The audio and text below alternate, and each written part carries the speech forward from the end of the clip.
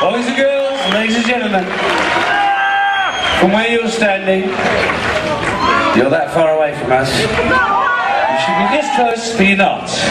So we have to make it closer by some form of mutual enthusiasm. Enthusiasm!